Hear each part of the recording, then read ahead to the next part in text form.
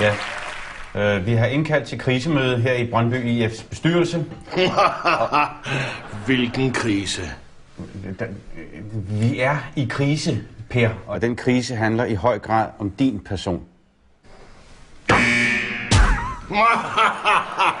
Alt går fint. Vi ligger i toppen, og vi ender med at vinde guld. FCK de fører med 20 point. De, de spiller Champions League, og de tiltrækker alle de gode spillere. Præcis. Alt går efter planen. Vi luller dem i søvn. Og så når de allermindst venter det, så slår vi til i den sidste og afgørende finale. Finale? Der er ikke nogen finale. Det er en liga, og FCK de fører kæmpe stort. Det er pokalfinalen. Det er det, jeg mener. Det er det, der er det vigtige.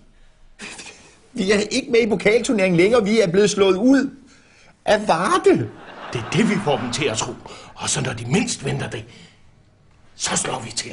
Det kan man ikke. Vi er ude. Det er færdigt slut. I er elendige. Og nu af er denne hvide kat sportsdirektør. Det er den allerede. Vi er simpelthen bange for, at du er blevet senil. Senil?